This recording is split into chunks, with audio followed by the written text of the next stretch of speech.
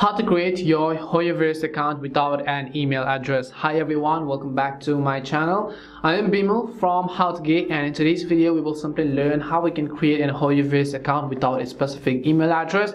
So just make sure to watch the video till the end. All you have to do is to go ahead and simply open up your browser and then you have to go to accounts.hoyoverse.com i'll also make sure to leave a link in the description box. Just go to account.hoyoverse.com and then you'll see the login page right over here.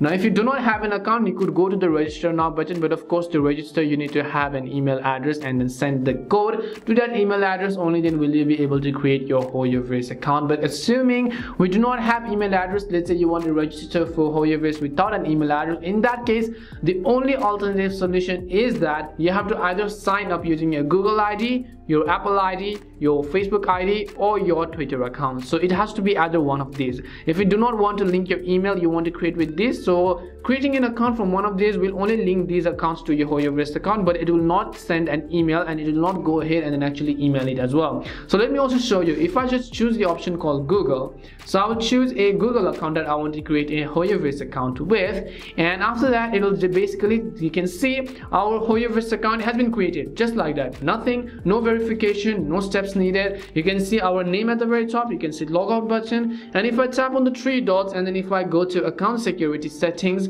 right over here as well you'll be able to see that I do not have account and password linked. It means that I can log in with my Google account unlimitedly without having to link my email address.